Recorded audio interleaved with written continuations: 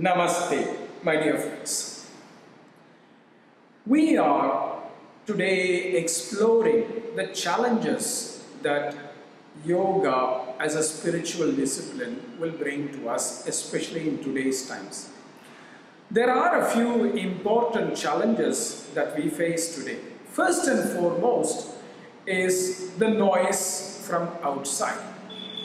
See, today we are an information driven society where there is so much information from so many different sources. We have the internet, we have our neighbors, we have advertisements from TV and television and radio.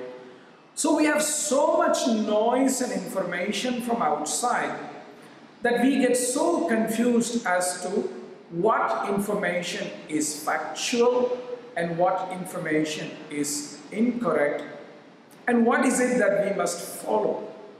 And therefore we forget the information that comes from within through the form of intuition, through the form of insight, etc. that comes from silencing this noise from outside. Because the noise is so strong in modern society from outside, it becomes more and more difficult to listen to those silent voices of intuition and insight that come from deep in our heart. And that is a, one of the biggest challenges of yoga as a spiritual practice today. The second problem is that among this information is this beautiful new age idea that spirituality is all about peace and love and beauty and things like that.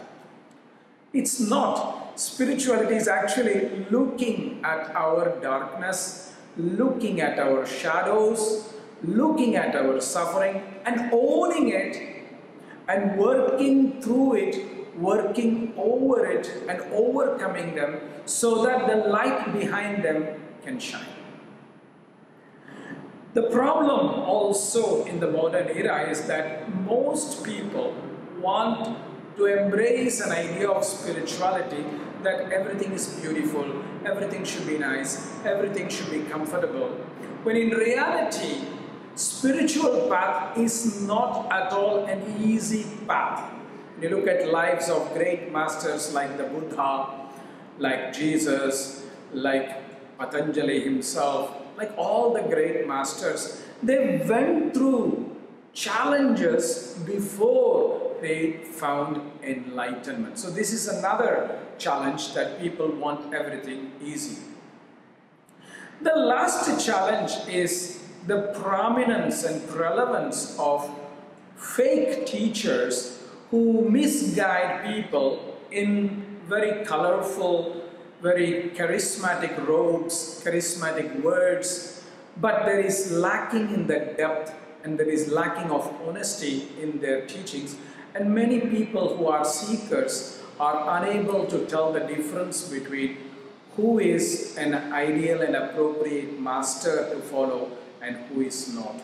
And therefore a lot of people spend a lot of time, a lot of resources in following fake masters and they get deluded and disillusioned about spirituality.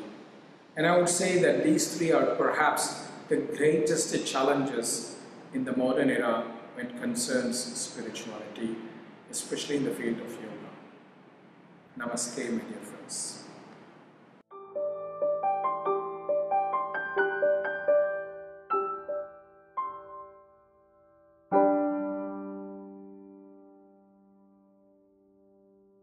Namaste, my dear friends. My name is Kausthub Desikachar and I am currently representing the Viniyoga tradition Thank you for watching our channel. Thank you for watching this video. And if you have not yet subscribed to our channel, please click the subscribe button so that you may receive fantastic updates every week on all the wonderful videos that we are presenting. And of course, we would encourage you to share these videos through your social media platforms to all your friends and students so that this kind of special knowledge can be shared to all those who are seriously interested in the classical traditions of yoga. Thank you for your support, my dear friends, and we wish you all the very best. Namaste.